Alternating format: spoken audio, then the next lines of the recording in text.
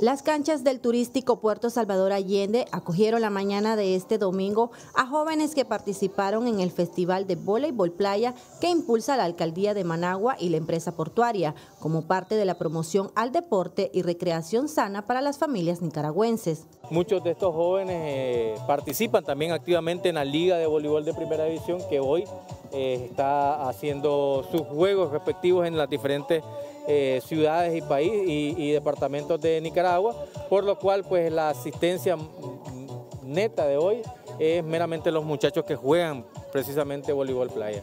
Esto es para que los muchachos, las jóvenes y adolescentes que están aquí puedan disfrutar y aprovechar estos espacios que se han creado para este tipo de eventos. El Puerto Salvador Allende, al crear estas canchas de voleibol, lo hace para que no solamente hayan eventos culturales, sino deportivos, boxeo, Viene próximamente, por ejemplo, el 10 de marzo, una carrera ciclística que va a ser aquí a partir de las 7 de la mañana y ahí está conjunto con la Federación de Ciclismo y también la Alcaldía de Managua.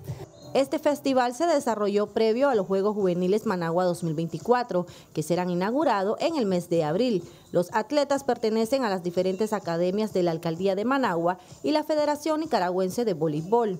Este lo invitó a inscribirse pues, a las academias que hay de voleibol de playa, voleibol sala, en el IND y aquí en Alfonso también, para, para entrenar y aprender a jugar este deporte tan lindo que es el voleibol. Nos ayuda a recrearnos, a, hacer, a crecer en el deporte, también ayuda a las selecciones nacionales, a Nicaragua, a que saque jóvenes promesas del voleibol.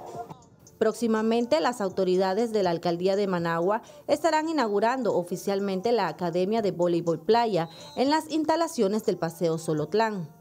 E invitarle siempre a, eh, a, la inauguración oficial ya de la Academia de Voleibol Playa que va a ser en el Paseo Solotlán eh, el día martes a las 4 de la tarde. Esta academia va a estar funcionando para niños y jóvenes eh, desde los 6 años hacia los 17 en horario de martes a jueves de 4 a 6 de la tarde, acá, ahí en el Paseo eh, Solotlán, donde eh, las inscripciones son totalmente gratis.